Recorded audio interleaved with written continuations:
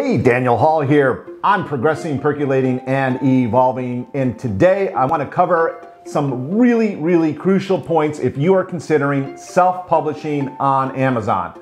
There's a lot that's good about that, and there is some that is bad about that. We're going to cover all of that today. If you're new to the channel, I want to welcome you. And if you have not yet subscribed, go ahead and do that right now. And of course, hit the little bell notification That'll tell you every time that I upload a new video. And of course, as always, if you like the video, love it, or somewhere in between, make sure that you Hulk smash that like button. It really helps to support the channel and allows me to make more of these videos. So in today's video, what I want to do is I want to chat about self-publishing on Amazon. And I want to make a couple things really, really clear. First off, I love no, I adore Amazon. Amazon has completely transformed the self publishing world. Think about not that many years ago, if you wanted to write a book and get it published, you had to wade through all kinds of gatekeepers and jump through hoops to find your way to maybe perhaps getting an agent and maybe perhaps getting a you know publisher it's not like that anymore. Amazon has completely transformed the publishing marketplace such that today we have an even playing field. That means that your book is on even par with any other major marquee author out there because people now can vote. They vote with their dollars.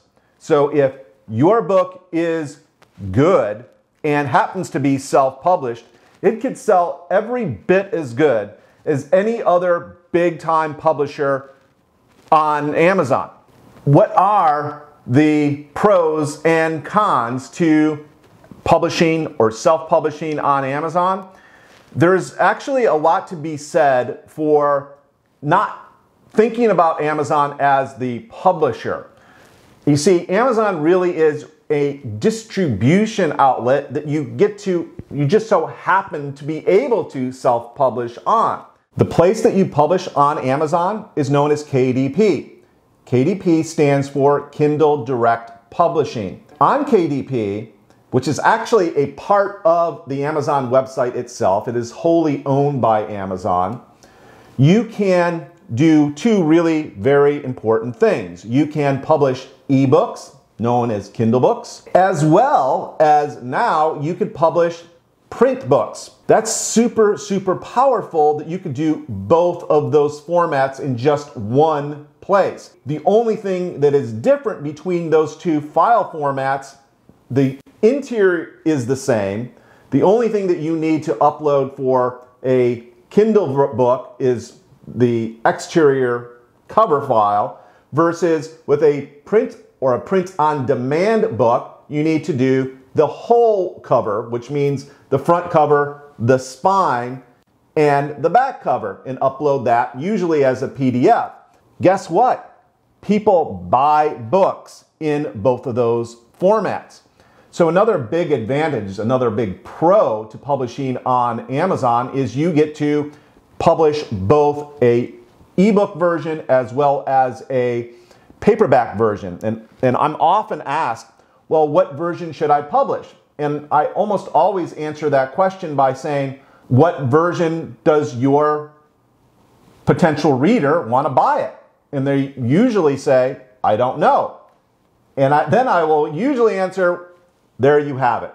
You should have your book in as many different formats as is possible and certainly they should be both in Kindle format as well as print on demand format as well. And there's a huge argument to be made that it should also be made into a audiobook as well because that is huge and getting larger in the industry.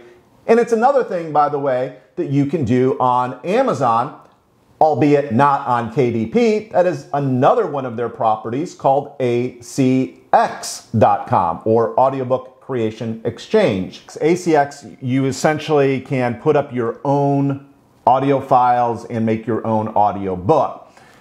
There are some extreme disadvantages to ACX that you should keep in mind, particularly if you are not a resident of the United States or the UK. Because those are the only nations presently that allow you to have an ACX account. In other words, if you live somewhere else in the world and you want to create a audiobook, you can't do it with ACX. How do you solve the problem? Well, there is a really good solution and it's known as Authors Republic.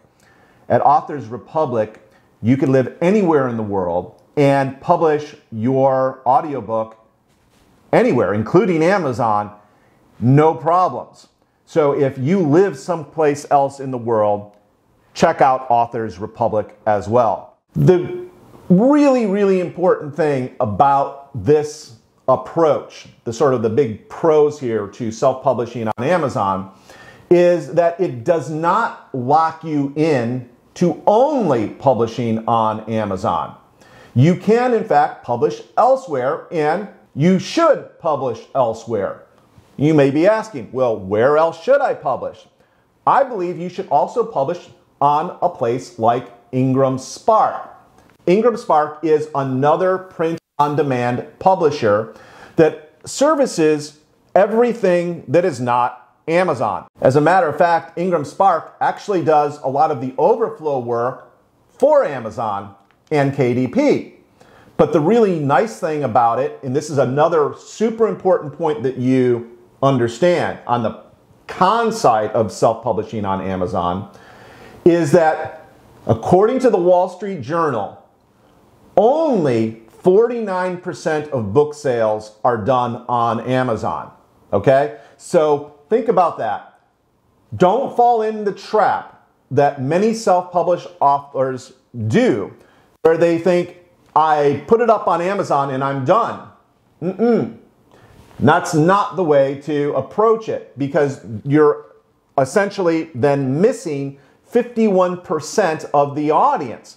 You can pick up a part of that 51% by likewise publishing on Ingram Spark as well. And here's the other really cool thing about publishing on Ingram Spark as well as on KDP. You automatically then become eligible to be included within Ingram wholesalers. So Ingram is actually a number of subsidiary companies. There's Ingram Wholesalers, there's Ingram Spark, and there's a number of other affiliated companies. Bookstores, libraries, almost every place that is not Amazon have an Ingram Wholesalers account. The reason why this is important is because if you are both on Amazon, well, then you have Amazon covered. Then you can have your Ingram Spark account, which covers essentially everything else, at least when it comes to the print on demand version of the book. Or if Barnes and Noble wants to buy your book, they're going to buy it through Ingram Wholesalers.